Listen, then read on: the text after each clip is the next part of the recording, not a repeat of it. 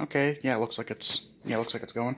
Okay, so this is uh this is uh my devlog of my board game that I'm working on. Um, just gonna kind of give a quick rundown as to how I made all this stuff. Um, well, this is the board here itself.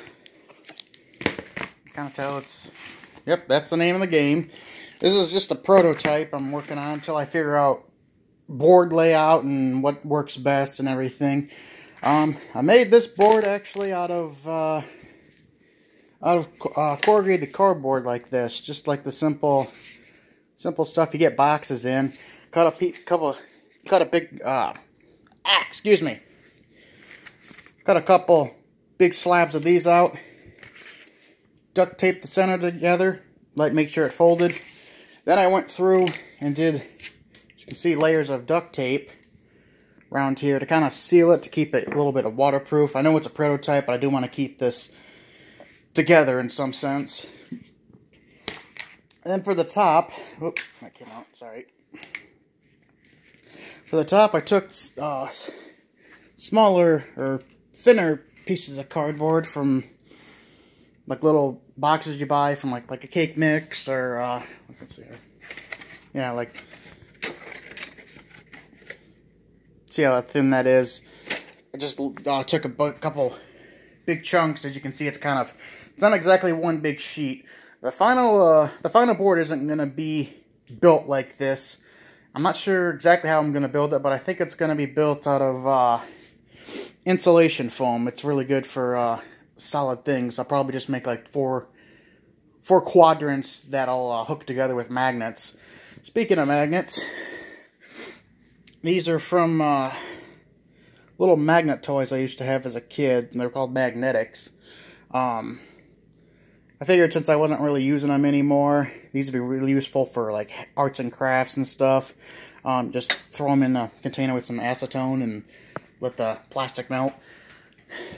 So this is uh, these are a bunch of like small sheets on here. I stuck them together with.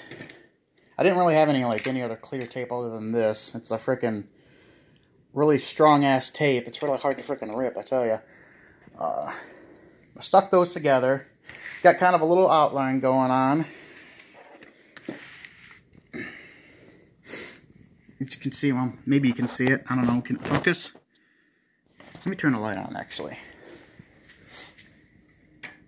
There we go. Yeah, so that's the start space. Um, I'm not really sure the whole layout of this, but um, I'm probably going to do, this is why I do a prototype. I'm going to do what I think works best, and if I, if I in, in playtesting, if it doesn't really work out, or if I want to change something, I can always make notes to change that.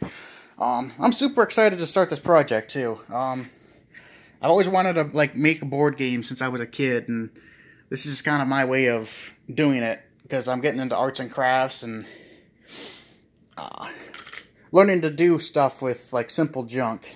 Like these, for example, these uh these are little bases for the um for like your uh, your player characters like your pawns um what i'm gonna do is what i did is i took a little section off of these this is a little roll that came off uh, like a coupon dispenser at um from the machines where i work uh i've been saving these for quite a while uh i took a little section of that used my little my little Dremel tool right there. Cut off a little section of it.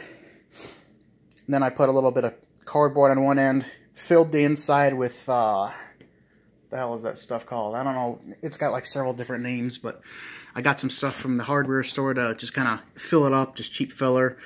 And then uh, stuck a magnet in there. Then put another uh, another piece of cardboard uh, hot glued on top of there. Best part is they stick together for storage. Well, I mean... But yeah, what I'm going to do is I'm going to make uh, some sort of... Some sort of character, like mounted on like a little bit that you stick on there with a magnet. So, you know, it just... I, I, I like magnetizing things like this. It's a lot of fun. Um, just because you can... you can have like terrain pieces, and then you know when you when it comes time to take down the board, you can just remove them, which is what I'm going to do with uh, certain pieces on the final board. I'm going to stick some magnets in there and have like maybe like a tree or you know just like a tree or something, or maybe like a lamp post, just stuff like that. Just uh, little neat things to add to the add to the environment. Speaking of adding to the environment, got these or made this what you got here is little, uh, little store, obviously. Made out of, uh, these plastic things are, were actually, uh, from Moist Cat Food. I got my cat. Uh, I, after I started looking at them, I'm like, you know what, these are pretty solid. These might actually make pretty good, uh, uh, scrap for building something. I don't know what exactly, but I'll figure that out when I get to it. And I'm like, well, you know what? Let's let's play around with those, and happy with the result. As you can see, I got a lot, ton of scrap over here. So I've been hoarding. I wouldn't say junk, but I've been hoarding this stuff for uh, the past few months. Yeah, see, there's there's one of the little cat food dishes. Uh, and then the little signpost was made out of uh, K'NEX. You kind of you can see the the signs kind of mounted in there with the little things. Uh, and then as far as the sign itself, just more cardboard. Um, I think that's all I really got to show off so far. Um, I still got a lot of work to do for this prototype. I've I've been typing out rules and all that, and uh, just trying to figure out how the game's going to be played. Um, not really, not really uh, entirely 100% certain on everything, but I'm, that's the fun of it. it, is just kind of figure it out as I go. Um, it's fun of making a prototype. You take it in, uh, you have your playtesters play. In my case, my playtesters are going to be uh, uh, some of my cousins and uh, my in-law. Hi guys, if you're watching this. Um, but yeah, I still got a lot of work to do, and when I get into playtesting, I want to be able to take notes to see what works and what doesn't, maybe things to potentially add. Um, I'd love to get feedback on this. So, uh, I guess this is just ends devlog 01, or just 1, or whatever. So, that's it.